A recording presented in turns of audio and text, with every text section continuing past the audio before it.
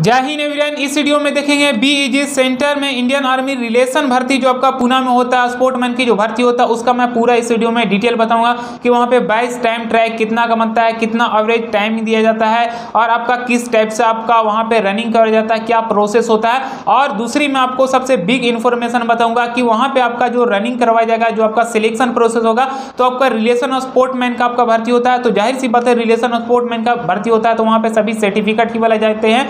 तो उसमें अगर रिलेशन से बिलोंग करते हैं तो कितना नंबर का रिटर्न के एग्ज़ाम में छूट भी दिया जाता है। और आपका स्पोर्टमैन से अगर बिलोंग करते हैं तो आपका रिटर्न के एग्ज़ाम में भी छूट दिया जाता है और हाइट वे चेस्ट में भी छूट दिया जाता है। तो कितना नंबर की किस चीज़ में छूट दिया जाता है कौन कौन से कैंडिडेट को छूट दिया जाता है, ये सारी जानकारी आपके साथ शेयर करने वाले इस वीडियो में। और दूसरी मैं आपको बता दूँ कि एनसीसी का ए बी सी सर्टिफिकेट है तो आपका रिटर्न के एग्ज़ाम में भी कितना नंबर का छूट दिया जाता है। और कंप्यूटर का भी सर्टिफिकेट है तो आपको रिटर्न के एग्ज़ाम में कितना नंबर का छूट दिया जाता है, जो इंडियन आर्मी की रिलेशन भर्ती होती है तो। तो ये सारी जानकारी के लिए इस वीडियो पर आपको कंटिन्यू बने रहना होगा। चलिए सबसे पहले देखते हैं कि वहाँ पे आपका बैच कितना का बनता है। तो बी जी सेंटर पुणे में इंडियन आर्मी रिलेशन जो भर्ती आपका होता है, वो आपका बैच बनता है। पचास से साठ का एवरेज आपका बैच बनता है। इससे थोड़ी आपको आगे पीछे भी हो सकती है, लेकिन एवरेज में आपको बता रहा हूँ, पचास से साठ के आसपास बैच आपका बनता है। बाकी टाइमिंग आपका पूरा प्रॉपर दिया जाता है। पाँच मिनट पैंतालीस सेकंड चालीस सेकंड इस टाइप से आपका प्रॉपर टाइमिंग दिया जाता है। जहाँ पे भी आपका रिलेशन भर्ती होता है, सभी जगह आपको पूरा प्रॉपर टाइमिंग टाइमिंग दिया जाता है। तो आपको होम ग्राउंड पे कैसे तैयारी करना है, वो अब आपको समझना है डिसाइड करना है, कैसे तैयारी करना है। वहाँ पे आपका रोड रनिंग करवाया जाता है, लेकिन हाँ जब आपका नोटिस भर्ती को लेकर आता है तो उसमें आपका लिखा हुआ रहता है, hockey ground B G B G sector Kirkee Pune zero three, इस टाइप से आपका लिखा हुआ रहता है ग्राउंड लिखा हुआ रहता है। तो ग्राउंड में आपका कंफ्यूजन नहीं हो जाना कि ग्राउंड वहाँ पे लिखा हुआ है आपका रोड रनिंग नहीं करवाया जाता है, आपका रोड ही रनिंग आपका करवाया जाएगा।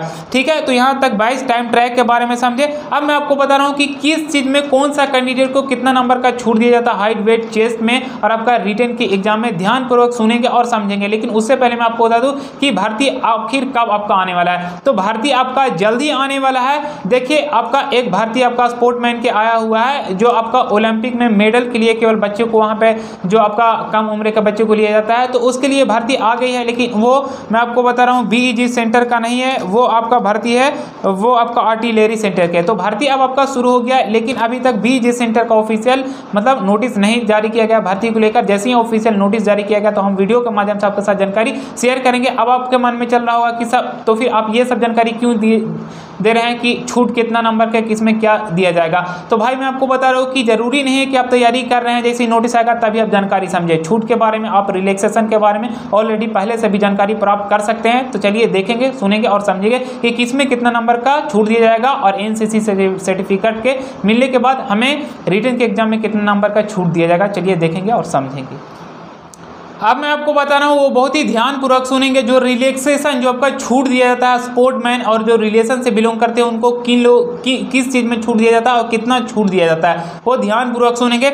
मैं आपको बता रहा हूँ कि अगर आप सन ऑफ़ सर्विस मैन है मतलब कि आपके पिताजी इंडियन आर्मी में है तो उन लोगों के लिए और son of E X man E X service man मतलब उनके पिताजी रिटायर कर चुके हैं या सन ऑफ़ वार वीडो या सन ऑफ़ वीडो मतलब कि जिनके पिताजी इंडियन आर्मी में है सर्विस कर रहे हैं या पिताजी रिटायर हो चुके हैं या उनके मतलब पिताजी शहीद हो चुके हैं वार में, या ऑलरेडी पहले मतलब कि जिनके पिताजी थे और वो देश के लिए मतलब जान निछावर कर दिए।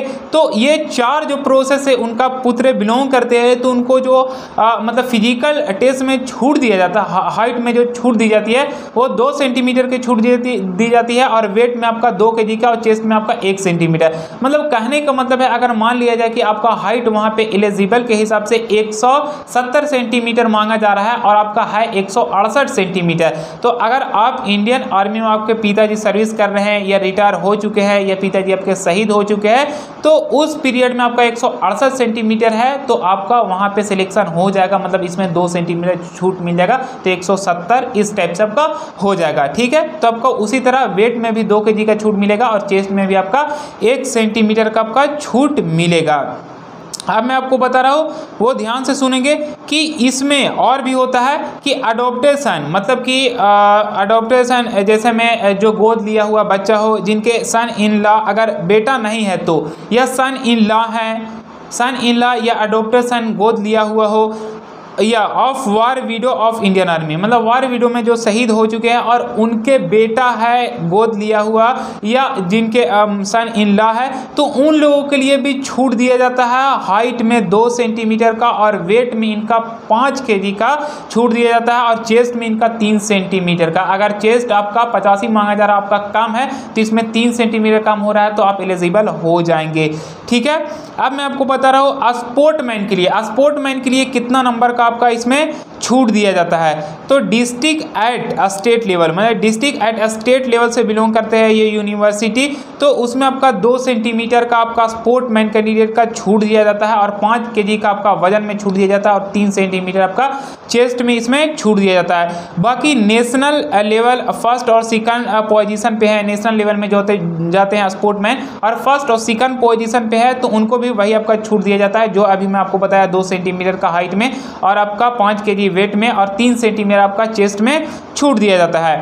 अब मैं आपको बता रहा हूँ कि आखिर रिटेन की एग्ज़ाम में यहाँ तक तो आप फ़िज़िकल का पूरा समझे कि किन लोगों के लिए फ़िज़िकल में कितना नंबर का छूट दिया जाता है। अब मैं आपको बता रहा हूँ कि आखिर रिटेन के एग्ज़ाम में किन लोगों का कितना नंबर की राहत दी जाती है, छूट दिया जाता है। वो ध्यानपूर्वक आप सुनेंगे और समझेंगे। तो सबसे पहले मैं आपको बता दूँ son of serviceman son of serviceman और सन ऑफ़ ई एक सर्विसमैन और सन ऑफ़ वार विडो या सन ऑफ़ विडो मतलब जिनके पिताजी इंडियन आर्मी में सर्विस कर रहे हैं रिटायर हो चुके हैं, या शहीद के दो मतलब शहीद हो चुके हैं तो उनके जो पुत्र हैं, उनको रिटर्न के एग्ज़ाम में जो रिटर्न होगा हंड्रेड मार्क्स का अगर रिटर्न होगा तो उनका बीस नंबर का छूट दिया जाता है कोई सा भी ट्रेड के लिए, किसी भी ट्रेड में। मैं आपको बता रहा हूँ। अब मैं आपको बता रहा हूँ कि अगर स्पोर्टमैन के लिए मैं आपको बता रहा हूँ कि स्पोर्टमैन के लिए कितना नंबर का आपका इसमें छूट दिया जाता है। तो स्पोर्टमैन के लिए जो आपका छूट दिया है India at international level India से इंटरनेशनल लेवल पे अगर आप स्पोर्ट कर चुके हैं तो उसमें आपको 20 नंबर का रिटर्न की एग्ज़ाम में राहत दी जाती है किसी भी ट्रेड चाहे वो सोल्जर जीडी हो या ट्रेड्समैन हो या टेक्निकल हो, किसी भी ट्रेड में आपका छूट दिया जाता है एनी ट्रेड्स और स्टेट एट नेशनल लेवल मतलब स्टेट से लेकर नेशनल लेवल में अगर आप पार्टिसिपेट कर चुके हैं, खेल चुके हैं तो उसमें आपको पंद्रह नंबर का छूट दिया जाता है।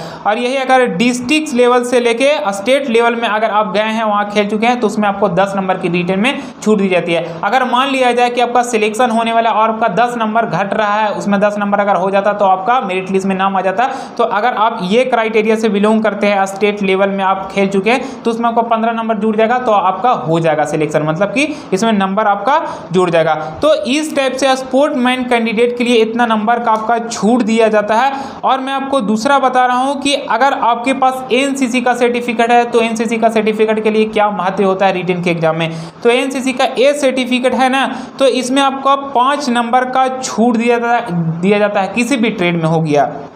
अगर ए सर्टिफिकेट है तो एनसीसी का, जो ये जूनियर डिवीज़न में आता है। और एनसीसी का अगर बी सर्टिफिकेट है तो आपको 10 नंबर का छूट दिया जाता है किसी भी अस्टे मतलब कि किसी भी ट्रेड में रिटर्न की एग्ज़ाम में। और अगर एनसीसी का सी सर्टिफिकेट है तो जीडी और ट्रेड्समैन की एग्ज़ाम आपको देने की ज़रूरत ही नहीं है। मतलब कि आपका फ़िज़िकल और आपका फ़िज़िकल मेज़रमेंट टेस्ट और फ़िज़िकल और मेडिकल में पास करने की ज़रूरत है। अगर एनसीसी का सी सर्टिफिकेट प्राप्त किए हैं तो जीडी और ट्रेड्समैन की रिटर्न देने की ज़रूरत नहीं है। लेकिन अगर एनसीसी का सी सर्टिफिकेट प्राप्त किए हैं और जी डी ट्रेसमेंट को छोड़कर और भी ट्रेड है टेक्निकल है और आपका नर्सिंग स्टेन है तो ये सभी में आपका रिटर्न में जो आपका छूट दिया जाएगा, वो आपको पंद्रह नंबर का छूट दिया जाएगा। और हाँ अगर आप एनसीसी का सी सर्टिफिकेट प्राप्त कर चुके हैं रिपब्लिक डे परेड में भी आप रह चुके हैं परेड में तो अगर आप एनसीसी का सी सर्टिफिकेट भी प्राप्त किए हैं और रिपब्लिक डे परेड में भी रह चुके हैं तो चाहे वो जीडी ट्रेड हो या आपका मतलब कि ट्रेड्समैन हो, या टेक्निकल हो, या नर्सिंग अस्टेन हो, या क्लर्क हो, या स्टोर कीपर हो तो इसमें भी आपका रिटर्न देने की ज़रूरत नहीं है। अगर एनसीसी का सी सर्टिफिकेट है और आप परेड में शामिल है रिपब्लिक डे के परेड में तो के बारे में बता रहा हूँ। अगर एनसीसी का सी सर्टिफिकेट है तो जीडी और ट्रेडमैनी की मतलब रिटर्न के एग्ज़ाम में केवल छूट दी जाती है और बाकी अदर ट्रेड में पंद्रह नंबर की छूट दी जाती है। अगर एनसीसी का सी सर्टिफिकेट है रिपब्लिक डे में भी आप हैं तो सभी ट्रेड में आपको रिटर्न की एग्ज़ाम देने की ज़रूरत नहीं है। तो यहाँ तक आप रिटर्न मतलब ए सर्टिफिकेट के बारे में समझे। अब मैं आपको बता रहा हूँ कि अगर आपका कंप्यूटर का सर्टिफिकेट रहेगा तो किसमें आपका कितना नंबर का छूट दिया जाएगा? तो ध्यानपूर्वक आप सुनेंगे having O plus level computer certificate issued by D O E A double C society के थ्रू अगर आपका इशूड रहेगा, जो हैविंग ओ प्लस लेवल का कंप्यूटर सर्टिफिकेट अगर है इशूड किस चीज़ से? D O E A double C society से। तो आपको कलर और सोल्जर क्लर्क जो आपका होता है, और स्टोर कीपर होता है तो कंप्यूटर ही से रिलेटेड काम करना होता है। तो इसमें आपको पंद्रह नंबर की रिटेन के एग्ज़ाम में छूट दी जाती है। अगर कंप्यूटर का ओ लेवल सर्टिफिकेट है D O E double A C से आपका मतलब इशूड है तो। तो आई होप यहाँ तक अब आपको समझ में आ गया होगा कि इंडियन आर्मी रिलेशन भर्ती में स्पोर्टमैन और आपका जो रिलेशन से बिलोंग करते हैं तो किसमें आपको कितना नंबर का छूट दिया जाता है। फिर हम नेक्स्ट क्लास मिलेंगे ऐसी लेटेस्ट जानकारी से जय हिंद।